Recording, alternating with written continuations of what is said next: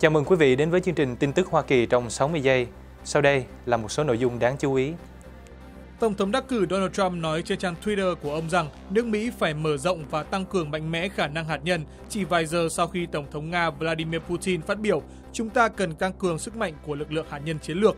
Phát ngôn viên của ông Trump sau đó nói rằng ông muốn đề cập đến mối đe dọa của việc phổ biến vũ khí hạt nhân. Tuy nhiên sau đó bà Mika Brzezinski của đài MSNBC cho biết trong cuộc trao đổi với Tổng thống đắc cử hôm 23 tháng 12, ông Trump nói với bà rằng cứ chạy đua vũ trang đi, chúng ta sẽ qua mặt tất cả về mọi phương diện.